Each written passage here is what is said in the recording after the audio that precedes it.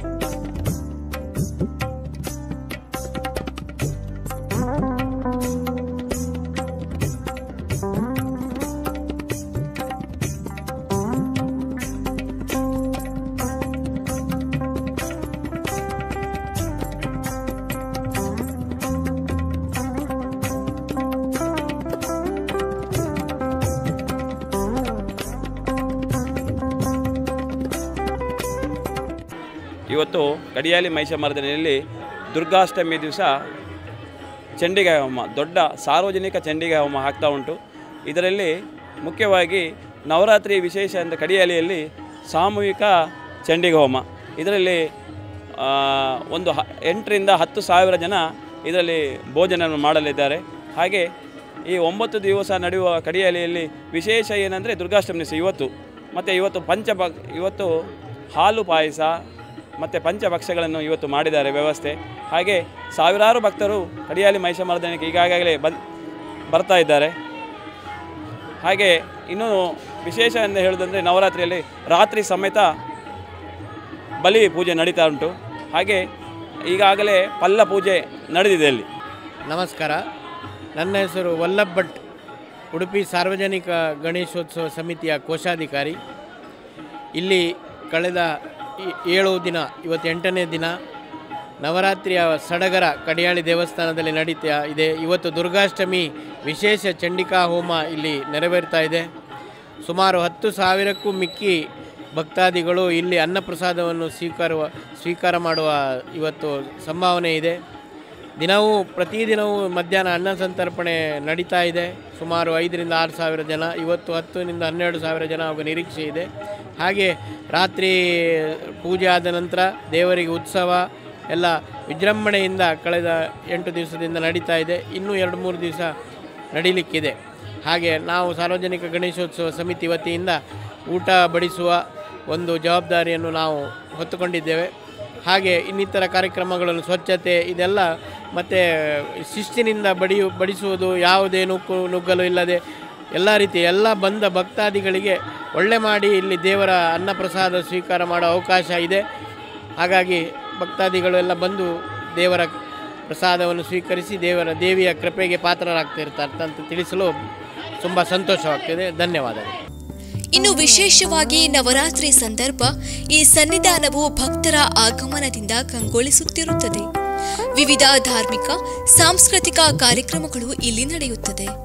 ಉಡುಪಿ ಜಿಲ್ಲೆಯಲ್ಲಿ ಇರುವ ಅನೇಕ ದೇವಿ ದೇವಾಲಯಗಳಲ್ಲಿ ಕಡಿಯಾಳಿ ಶ್ರೀ ಮಹಿಷಮರ್ದಿನಿ ಸನ್ನಿಧಾನವು ಕೂಡ ಒಂದಾಗಿದ್ದು, ಭಕ್ತರ ನಂಬಿಕೆಯ ತಾಣ ಇದಾಗಿದೆ.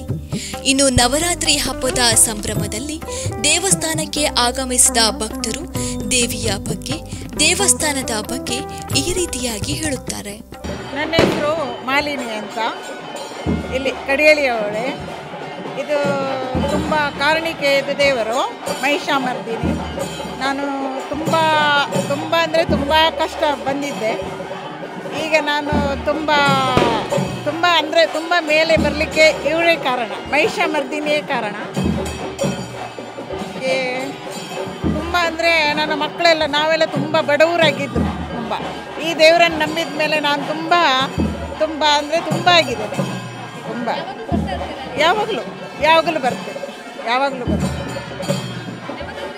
ನವರಾತ್ರಿ ಸಮಯದಲ್ಲಿ ಅಂದರೆ ಬೇಡ್ಕೊಂಡ್ರೆ ತುಂಬ ಒಳ್ಳೆಯದಾಗ್ತದೆ ಇಲ್ಲಿ. ನಾನು ಎಲ್ಲ ಎಲ್ಲ ದೇವಸ್ಥಾನಕ್ಕೆ ಹೋಗಿದ್ದೇನೆ. ಇಲ್ಲಿ ಜಾಸ್ತಿ ಬರ್ತೇನೆ. ನನ್ನ ಹೆಸರು ಸುಜಾತ ಅಂತ.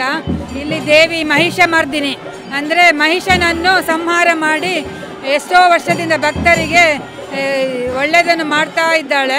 ಇಲ್ಲಿ ಚಂಡಿಕಾ ಚಂಡಿಕಾ ಹೋಮ ಎರಡು ಮೂರು ಆಗ್ತಾ ಇರ್ತದೆ. ಒಂಬತ್ತು ದಿನ ನವರಾತ್ರಿಯನ್ನು ಆಚರಿಸ್ತಾರೆ. ಆಮೇಲೆ ಪ್ರತಿದಿನವೂ ಒಂದು, ಎಷ್ಟೊಂದು ಜನರಿಗೆ ಅನ್ನದಾನವನ್ನು ಮಾಡ್ತಾ ಇದ್ದಾರೆ. ಇದು ಸಿಟಿ ಹತ್ತಿರ ಇರೋದ್ರಿಂದ ತುಂಬ ಜನ ಸೇರ್ತಾರೆ. ಮತ್ತು ಏನಾದರೂ ನಮಗೆ ಸಮಸ್ಯೆ ಇದ್ದರೆ ಒಂದು ಕುಂಕುಮಾರ್ಚನೆಯ ಚಂಡಿಕಾ ಹೋಮ ಮಾಡಿದರೆ ದೇವಿ ಪ್ರಸನ್ನಳಾಗಿ ಒಳ್ಳೆಯದನ್ನು ಮಾಡ್ತಾರೆ. ಇವತ್ತು ದುರ್ಗಾಷ್ಟಮಿ, ತುಂಬ ಜನ ಸೇರಿದ್ದಾರೆ ಅನ್ನ ಸಂತರ್ಪಣೆಗೆ, ಮತ್ತು ಸಾಮೂಹಿಕ ಚಂಡಿಕಾ ಹೋಮ ಇದೆ. ನಾಳೆ ನಾಳೆ ನವಮಿ, ನಾಡಿದ್ದು ವಿಜಯದಶಮಿ. ಅಂದರೆ ಒಂಬತ್ತು ದಿನ ಆಗಿ ವಿಜಯದಶಮಿಯನ್ನು ಒಳ್ಳೆ ರೀತಿ ಆಚರಿಸ್ತಾರೆ. ನನ್ನ ಹೆಸರು ಶಿವಾನಿ, ನಾನು ಉಡುಪಿಯಿಂದಲೇ ಬಂದಿದ್ದೇನೆ. ಪ್ರತಿ ವರ್ಷ ಇಲ್ಲಿ ನವರಾತ್ರಿ ಉತ್ಸವಕ್ಕೆ ಬರ್ತಾ ಇದ್ದೀರಾ? ಹೌದು. ಸುಮಾರು ವರ್ಷದಿಂದ ಬರ್ತಿದ್ದೇವೆ ಹೇಗೆ ಅನಿಸ್ತಾ ಇದೆ? ತುಂಬ ಖುಷಿ ಆಗ್ತದೆ ಇಲ್ಲಿ ದೇವಿಯನ್ನು ತುಂಬ ನಂಬ್ತೇವೆ. ಹಾಗೆ ನಾವೆಂತ ಪ್ರೇ ಮಾಡಿದರೆ ಸಹ ಆಗ್ತದೆ ಹಾಗೆ ಬರಲಿಕ್ಕೆ ತುಂಬ ಖುಷಿ ಆಗ್ತದೆ ಫ್ಯಾಮಿಲಿ ಜೊತೆಗೆ ಅವಾಗ ಅವಾಗ ಬರ್ತಾ ಇರ್ತೀರಾ? ಹಾಂ ಎವ್ರಿ ಫ್ರೈಡೇಸ್ ಬರ್ತಾ ಇರ್ತೇವೆ. ನಾನು ಇಲ್ಲಿ ಶಾರದಾ ಮಂಟಪ ಮನೆ. ಮತ್ತು ನಾನು ಇಲ್ಲಿ ತುಂಬ ಸಮಯದಿಂದ ಇದು ಪೂಜೆ ಮಾಡ್ತಿದ್ದೆ ನಂಬಿಕೆಯಿಂದ. ಕಡಿಯಳಿ ಮಾಡ್ತೀನಿ ಅಮ್ಮನನ್ನು.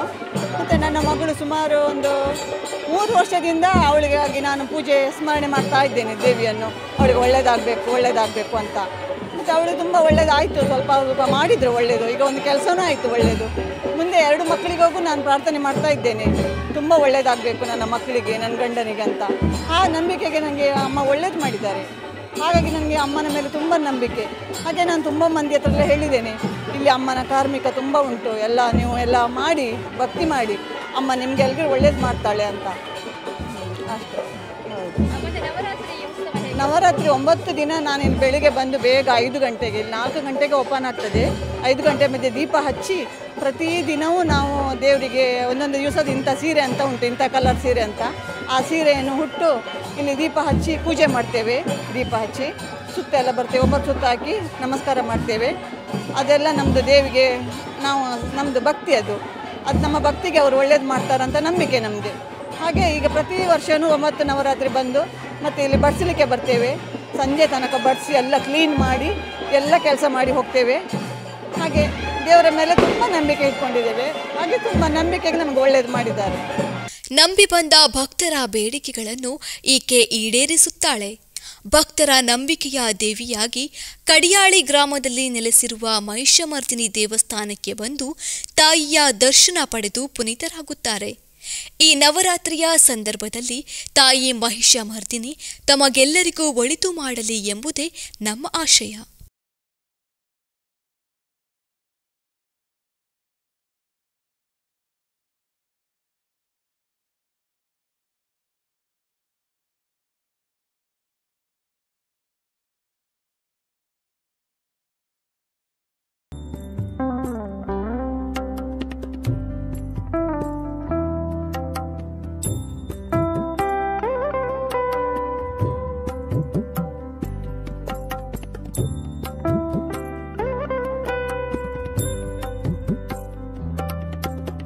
ಶ್ರೀ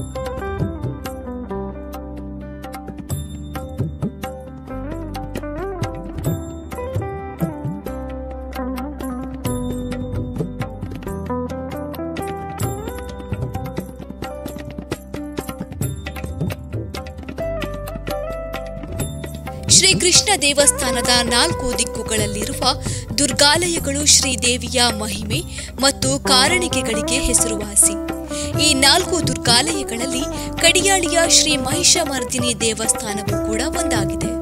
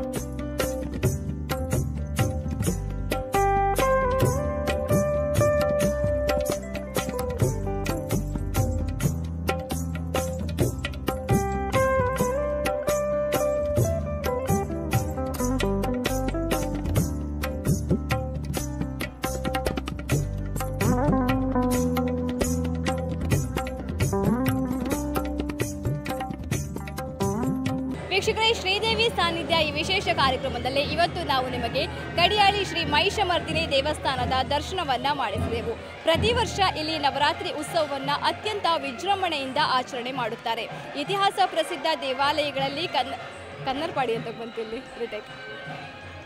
ರಿಟೇಕ್. ವೀಕ್ಷಕರೇ, ಶ್ರೀದೇವಿ ಸಾನ್ನಿಧ್ಯ ಎಂಬ ಈ ವಿಶೇಷ ಕಾರ್ಯಕ್ರಮದಲ್ಲಿ ಇವತ್ತು ನಾವು ನಿಮಗೆ ಕಡಿಯಾಳಿ ಶ್ರೀ ಮಹಿಷಮರ್ದಿನಿ ದೇವಸ್ಥಾನದ ದರ್ಶನವನ್ನ ಮಾಡಿಸಿದೆವು. ಪ್ರತಿ ವರ್ಷ ಇಲ್ಲಿ ನವರಾತ್ರಿ ಉತ್ಸವವನ್ನ ಅತ್ಯಂತ ವಿಜೃಂಭಣೆಯಿಂದ ಆಚರಿಸುತ್ತಾರೆ. ಒಂಬತ್ತು ದಿನಗಳ ಕಾಲ ಅತ್ಯಂತ ವೈಭವ ಸಡಗರದಿಂದ ಇಲ್ಲಿ ಆಚರಣೆ ಮಾಡುತ್ತಾರೆ. ಇತಿಹಾಸ ಪ್ರಸಿದ್ಧ ದೇವಾಲಯಗಳಲ್ಲಿ ಕಡಿಯಾಳಿ ಶ್ರೀ ಮಹಿಷಮರ್ದಿನಿ ದೇವಾಲಯವು ಕೂಡ ಒಂದು. ಉಡುಪಿಯಿಂದ ಹೆಚ್ಚೇನೂ ದೂರವಿಲ್ಲ. ತಾವು ಕೂಡ ಉಡುಪಿಗೆ ಬಂದಾಗ ಈ ಸನ್ನಿಧಿಗೆ ಒಮ್ಮೆ ಭೇಟಿ ನೀಡಿ ದೇವಿಯ ದರ್ಶನವನ್ನ ಪಡೆಯಿರಿ ಅಂತ ಹೇಳ್ತಾ ಈ ಸಂದರ್ಭದಲ್ಲಿ ತಾಯಿಯು ತಮಗೂ ಕೂಡ ಆರೋಗ್ಯ, ಆಯುಷ್ಯ ನೀಡಲಿ ಎಂದು ಹೇಳುತ್ತಾ ಈ ಕಾರ್ಯಕ್ರಮವನ್ನು ನಾನು ಇಲ್ಲಿಗೆ ಮುಗಿಸುತ್ತಿದ್ದೇನೆ. ನಿರಂತರ ಸುದ್ದಿ ಹಾಗೂ ಮನೋರಂಜನೆಗಾಗಿ ತಾವೆಲ್ಲರೂ ನೋಡ್ತಾ ಇರಿ ದಜ್ವ ಟ್ವೆಂಟಿ ಫೋರ್ ಇಂಟು ಸೆವೆನ್